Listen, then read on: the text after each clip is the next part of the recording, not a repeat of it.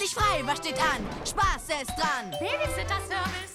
Markus Level, Ran an die Konsole, lautet die Parole. Wer ist hier der Boss? Markus Level, Was passiert hier? Ah, Wie geschieht mir? Oh.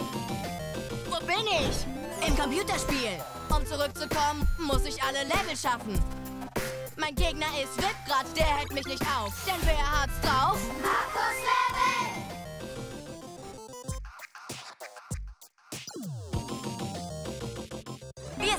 Im nächsten Level.